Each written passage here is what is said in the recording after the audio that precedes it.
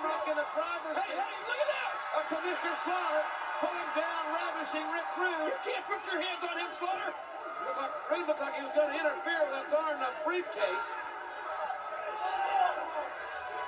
Up to the eye by Helmsley. And, oh, Helmsley! What the hell was... Helmsley just nailed the referee a blatant shot. Now, belly belly suplex. Here comes Chyna. Referee is knocked out. And the, the, what is he doing? Slaughter's restraining and a tap out. First it was the Hitman, then Shawn Michaels, and now Helmsley and Michaels. A knockout, not a tap out. The WWF champion. And with a thunderous blow to the back of the head. I think Shawn Michaels is afraid of Ken Shamrock. Out. We've got, folks, we'll see you next week